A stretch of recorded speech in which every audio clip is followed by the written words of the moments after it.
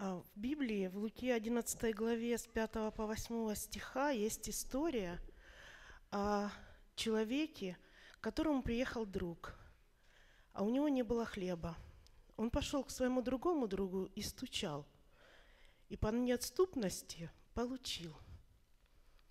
А ты молись, молись, когда устанешь.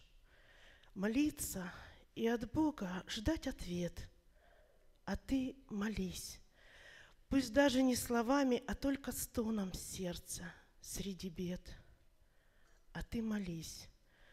Пусть даже нету веры, хоть даже сердце холод обожжет.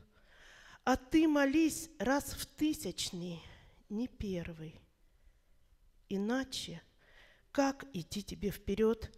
Иначе как достигнуть врат небесных – Иначе, как не получить ответ, не радуй духа злобы поднебесной, что уж не молишься, ибо ответа нет.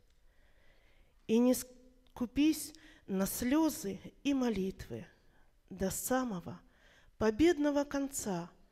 Пускай еще не выиграна битва, не отступай, не отдавай венца, а ты молись, когда уж сил не станет, и скажешь, Боже, больше не могу. Он на тебя с любовью нежно взглянет и силу даст не уступать врагу.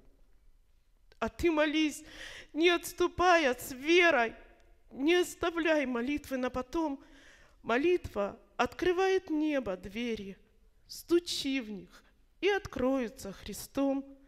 Стучи, как друг, просящий ночью хлеба, по неотступности своей он получил.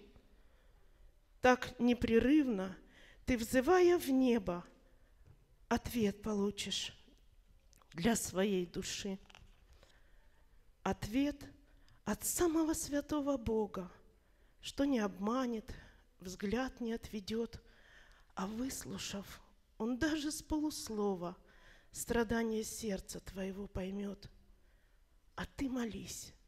Молитва рушит скалы. Молись.